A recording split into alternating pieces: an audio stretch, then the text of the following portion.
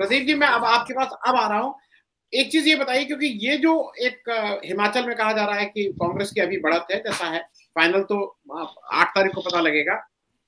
अगर गुजरात का इलेक्शन मोदी जी ने अपने अराउंड लड़ाया तो उन्होंने हिमाचल में बहुत साफ़ जाके कहा था कि आप मेरा चेहरा देख के वोट दें और ये बात उन्होंने हिमाचल में कही थी कि आप मेरा चेहरा वोट के, के आप कैंडिडेट को मत देखें ये सब बातें कही थी। तो अगर अगर मैं, ये बड़ा अगर है, अगर बीजेपी वहाँ चुनाव हारती है तो क्या मोदी जी का, ये माना जाएगा कि पीपल रिजेक्टेड है? देखिए, यहाँ पर जो बीजेपी का, खास करके जो प्रधानमंत्री मोदी ने जो बागी को फ़ोन किया, वो चीज़ जो है, वो बहुत अगेंस्ट गई है। कोशिश तो बीजेपी ने की कि उसको फेवर में लाया जाए, लेकिन वो काफ़ी अगेंस्ट गई। वो बात, और दूसरी बात देखिए, प्रधानमंत्री मोदी से ज़्यादा यहाँ पर स्टेक पे है जेपी नड्डा की साख। राष्ट्रीय अध्यक्ष है और राष्ट्रीय अध्यक्ष अगर अपने इस छोटे से राज्य में अगर चुनाव नहीं जीतवा पाते तो ज़ाहिर सी बात है कि प्रधानमंत्री से ज़्यादा कहीं स्टेक उनका दाव पर है।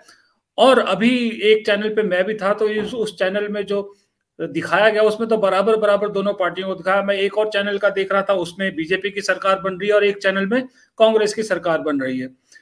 मैं एक्चुअल में इस चीज़ से भी सहमत नहीं हूँ कि बराबर बराबर या कांटे की टक्कर है या कांग्रेस को स्लाइट है। जब मुझे लगता है गैप रहेगा, लेकिन गैप रहेगा तकरीबन दस सीट का, दस से बारह सीट का गैप रहेगा और इस गैप के साथ कंफर्टेबली कांग्रेस जो है बनानी चाहिए कांग्रेस को सरकार, क्योंकि इस वक्त जितनी चीज़ें मौजूदा सरकार के खिलाफ है खास करके बीजेपी के खिलाफ, उतने मुद्दे अगर बुनाने में कांग्रेस नाकामयाब रहती है, उसके बावजूद भी बहुत छोटे से मार्जिन से अगर सरकार बनाती है या नहीं बना पाती तो it's a complete failure of organization यहाँ पर जो स्टेट में है।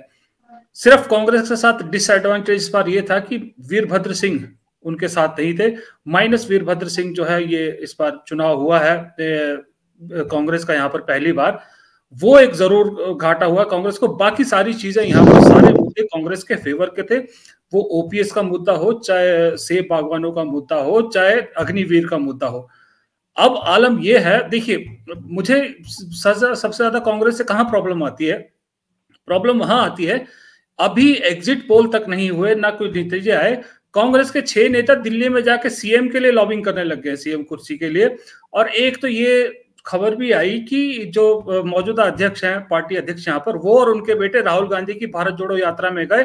और वहाँ पर शपथ ग्रहण समारोह के लिए उनको इनवाइट करके आए कि आपको शपथ ग्रहण समारोह में आना है।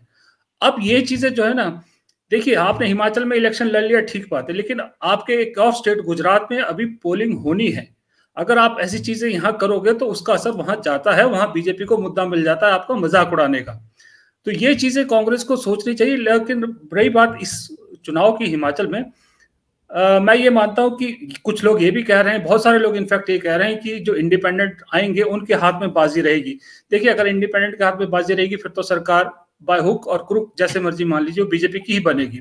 और इनकेस अगर पाँच से कम भी मार्जिन रहता है दोनों के दोनों पार्टियों के बीच में तो भी आज नहीं तो कल बीजेपी की सरकार बनेगी बनेगी। यहाँ पर ये कांग्रेसी खुद भी जानते हैं मुझे बहुत सारे कांग्रेस ने कहा कि हमें मिनिमम फोर्टी सीट्स चाहिए ताकि जो सीएम की कुर्सी पे बैठे वो निश्चिंत हो थोड़े दिन के लिए कि हाँ मेरी सरकार रहेगी। लेकिन अब यह है कि जयराम ठाकुर के नाम पे बिल्कुल चुनाव नहीं लड़ा, जो यहाँ के मुख्यमंत्री है, वो भी लोगों के में एक मैसेज गया कि जब आपने पाँच साल इसको चीफ मिनिस्टर रखा और कह रहे हैं कि हम जीतेंगे तो भी यही चीफ मिनिस्टर बनेंगे। जब आप उनके नाम पे चुनाव नहीं लड़ रहे, पोस्टर में वो कहीं पीछे खड़े हैं, बैनर्स में है ही नहीं तो फिर इस आदमी की क्रेडिबिलिटी क्या है? फिर हम इस पर कैसे विश्वास करें? और दूसरी बात, हिमाचल में देखिए ट्रेडिशनली बीजेपी का वोटर जो है, वो कौन होता है? जो शहरी वोटर जो बिजनेसमैन है, वो ट्रेडिशनली बीजेपी का वोटर है। और वो वोकल होता है और हिमाचल में वोकल रहा, उन्होंने खुलेआम बोला कि हम बीजेपी को सपोर्ट कर रहे हैं। लेकिन जो कांग्रेस का वोटर है, और खास करके इस बार का जो वोटर है, वो है इम्प्लॉय इंप्लॉयज यहाँ सेंट्रल गवर्नमेंट इधर आर्मी और स्टेट गवर्नमेंट सब मिला के मैं कह रहा हूँ, तकरीबन चौदह से पंद्रह लाख वोटर है। हर एक के साथ अगर उसके तीन घर के वोट जोड़े तो पैंतालीस लाख वोट हो जाता है। पचपन लाख समथिंग तो टोटल वोट है। वो डरता है कि वो टारगेट नहीं आना चाहता, इसलिए वो शांत रहता है, इसलिए उसने कुछ नहीं बोला, वो साइलेंटली वोट करता है। और साइलेंटली वोट जो गया है, वो जो मैंने इशू गिनाया आपको, इन इशू के आधार पर कांग्रेस को गया है तो इसलिए मुझे लगता है यहाँ ज़्यादा मुश्किल नहीं है कांग्रेस के लिए। एग्जिट पोल्स जो भी कहें, मेरे हिसाब से कंफर्टेबल बनानी चाहिए यहाँ पर। रही बात गुजरात की गुजरात की भी जैसे अमिता जी ने कहा कि डेढ़ सौ सीट तक दे रहे हैं बीजेपी को, वो थोड़ा सा मुझे ज़्यादा लग रहा है क्योंकि हाँ मैं ये भी मानता हूँ कि हाँ बीजेपी की सरकार आएगी क्योंकि मैं भी दो दिन लगा के आया गुजरात में।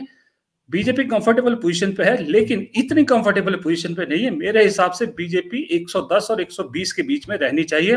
कांग्रेस 50 से 60 के बीच रहनी चाहिए। जी। जी। ए, क्या ये जो पूरा चुनाव है ये ब्रांड मोदी के ऊपर भी एक तरह से रेफरेंडम है? क्योंकि मोदी जी ने अपने को बहुत ज़्यादा इस समय कमिट करके किया है। वेस्ट बंगाल के इलेक्शन के बाद ऐसा कहा गया था कि उनको बहुत सामने नहीं लाया जाएगा। लेकिन ये इलेक्शन में तो उन्होंने धुआंधार अपने को अपने को ही वो बनाया है, प्रतीक। देखिए आनंद जी, इसमें एक बात तो बिल्कुल साफ़ है। ये जो तीनों चुनाव है, गुजरात, हिमाचल और दिल्ली, इन तीनों चुनाव में कांग्रेस के पास खोने के लिए कुछ नहीं है। कांग्रेस के पास सिर्फ़ पाने ही पाने के लिए है, क्योंकि तीनों जगह वो उसकी सरकारें नहीं है। जबकि बीजेपी के पास तीनों जगह खोने के लिए ही है। अगर वो कहीं सीट बचा, अपनी सरकार बचाती है तो ये माना जाएगा ना उसको कि उन्होंने बचाई है। ना कि अपनी सरकार वापस ली है, या कांग्रेस को हराया है, या कांग्रेस से छीनी है। और आम आदमी पार्टी के लिए भी देखिए, अगर मोटा मोटा देखा जाए तो उसके पास भी सब पाने के लिए ही है। गुजरात में अगर छह से आठ परसेंट वोट मिल जाता है तो नेशनल पार्टी का दर्जा वो उसके लिए एलिजिबल हो जाएगी। और अगर दिल्ली में एमसीडी जीत जाती है तो फिर जिस बात की लड़ाई वो लड़ती है बीजेपी से कि एमसीडी हमारे हाथ में नहीं, काम नहीं हो पाता, वो उसको मिल जाएगा। तो इसलिए ये तो तय है कि जो आपने बात कही कि अगर एक भी स्टेट हारती है बीजेपी या एमसीडी भी हारती है, यहाँ तक मैं कहूँगा तो साख पे तो ज़रूर प्रधानमंत्री की साख पे, अमित शाह की साख पे और जेपी नड्डा तीनों की साख पे बात आती है, लेकिन सबसे ज़्यादा प्रधानमंत्री की साख पे आती है, क्योंकि वो हर जगह ये कहते फिरते हैं कि उम्मीदवार मत देखिए, पार्टी मत देखिए, कमल का निशान देखिए और मेरा चेहरा देखिए, उस पर दीजिए वोट। अगर आपको एक स्टेट भी रिजेक्ट करती है, क्योंकि ये बयान उन्होंने दिया हिमाचल में ही है, और अगर हिमाचल ने आपकी बात को रिजेक्ट कर दिया तो ज़ाहिर सी बात है तो पार्टी रिजेक्ट नहीं हुई, आप रिजेक्ट हुए, आपको लोगों ने रिजेक्ट किया ना। कैंडिडेट भी तो बाद में ये कह सकते हैं ना कि अगर मेरे नाम पे वोट मांगा हो तो ठीक है, आपने अपने नाम पे मांगा तो आप रिजेक्ट हो गए। दूसरे नंबर पर रिजेक्ट होते हैं आपके राष्ट्रीय अध्यक्ष जो इसी स्टेट से आते हैं। तीसरे नंबर पर रिजेक्ट होते हैं आपके मुख्यमंत्री, जिनको आपने कहा मुख्यमंत्री रहेंगे और आगे भी वही बनेंगे। चौथे नंबर पे रिजेक्ट होते हैं आपके फायर ब्रांड नेक्स्ट जनरेशन नेता अनुराग ठाकुर, वो भी यहीं से आते हैं। तो ये चार लोग सीधे सीधे तौर पे रिजेक्ट हो जाते हैं अगर हिमाचल में आपकी सरकार नहीं बन पाती। है और गुजरात में अगर आप पिछली बार की टैली तक भी अगर अटक गए तो वहाँ तो अब आप समझिए कि वहाँ तो फिर पूरी सरकार की फजीयत है, पूरी पार्टी की फजीयत है। अगर आपने उस टैली को इंप्रूव नहीं किया, मान लिया कि आपने सरकार बना ली, लेकिन कहीं गलती से उसी टैली के आसपास रह गए। और एमसीडी में तो आप सोचिए कि जितने बड़े इवेंट मैनेजर नरेंद्र मोदी है, उतने ही तकरीबन बड़े इवेंट मैनेजर अरविंद केजरीवाल है। वो एमसीडी की जीत को ऐसा दिखाएँगे कि मान लीजिए कि 2024 में मोदी के बराबर अब वो अकेले वही होंगे। तो इसलिए मैं कह रहा हूँ कि बीजेपी के पास हारने को है, कांग्रेस के पास सिर्फ़ जीतने को जीतने को हारने के लिए कुछ है नहीं उसके पास। तो साख तो दाव पे प्रधानमंत्री की है। जी। नहीं, मैं मैं इसलिए, मैं एक और चीज़, प्रदीप जी, आपको से पूछ लूँ और फिर अमिता जी से पूछ लूँगा। ये पिछली बार 99 निन्यानवे सीट जीती थी बीजेपी 2017 में। लेकिन जब ये इलेक्शन अभी अनाउंस हुए, तब तक वो तोड़ तोड़ के तोड़ तोड़ के वो करा के 112 सीट थी। बीजेपी की जो हाउस डिजोल्व हुआ है तो 112 सीट थी। तो मोदी जी को 112 सीट पार करनी मेरे हिसाब से 112 है। लेकिन आपको लगता है कि निन्यानवे भी पार कर जाएँगे कि 112 पार करना ज़रूरी है? क्योंकि dissolve house was 112 for BJP Pradeep ji, एक बहुत संक्षिप्त देखिए देखिए, मैंने भी जो अपना वहाँ हिसाब लगाया, मैंने दो चीज़ें गुजरात में बड़ी साफ़ देखी दो दिनों के अंदर। एक तो ये कि लोग मुझे मिले अपने खुशहाली भाई साहब या अमिता जी, इसको ज़्यादा रोशनी डाल पाएँगे। मुझे जो लोग मिले, उनका ये कहना था कि जो बीजेपी को वोट देगा, वो देगा। जो बीजेपी को वोट नहीं देना चाहता वो दिल के, उसके दिल में डर बैठा है। वो कहते हैं, या तो डर के मारे हम वोट देंगे ही नहीं। अगर देंगे भी तो ये हम चाहते हैं कि क्यों बीजेपी से पंगा ले? क्या कल को नज़र में आ जाएँगे, खास करके माइनॉरिटीज वाले, कि वो डरते हैं कि फिर नज़रों में आ जाएँगे? इसलिए पहली प्रायोरिटी उनकी ये थी कि हम वोट देने जाएँगे ही नहीं। अगर दूसरी प्रायोरिटी ये थी कि अगर जाएँगे भी तो नेचुरल सी बात है, कोई ना कोई साथ में बीजेपी का होगा आदमी तो मजबूरी में हमें डालना पड़ सकता है बीजेपी को। ये उनका कहना था। दूसरी चीज़ मुझे ये समझ में आई थी कि वहाँ पर बाय हुक और क्रुक कह लें आप, चाहे जैसे मर्ज़ी कह लीजिए। देखिए, कांग्रेस ने वहाँ, कांग्रेस के साथ एक डिसएडवांटेज ये दिखा मुझे कि वो लेट मोमेंटम पकड़ा। अगर वो कहीं एक महीना पहले वो मोमेंटम पकड़ लेती तो अभी तो इस टाइम अभी मोदी जी को जितने वहाँ दिन लगाने पड़े मेरे ख्याल से 200 कुछ उन्होंने सभाएँ और रोड शो वगैरह टोटल किया होगा, मेरे गुजरात में ऐसा कुछ आंकड़ा मैंने कहीं पढ़ा था। तो शायद उन्हें उससे भी ज़्यादा करना पड़ता। कांग्रेस ने थोड़ा सा मोमेंटम लेट पकड़ा। और तीसरी बात यह है कि जो आम आदमी पार्टी का नुकसान है, वो सबको मालूम है कि वो नुकसान सिर्फ़ कांग्रेस को है। और अगर आम आदमी पार्टी ने कहीं हिमाचल में ज़ोर लगा लिया होता तो यहाँ भी कांग्रेस को नुकसान वो करके रहती।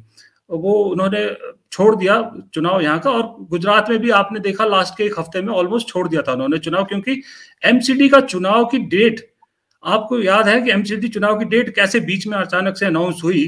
और उसके बाद सारा आम आदमी पार्टी का अमला दिल्ली शिफ्ट हो गया।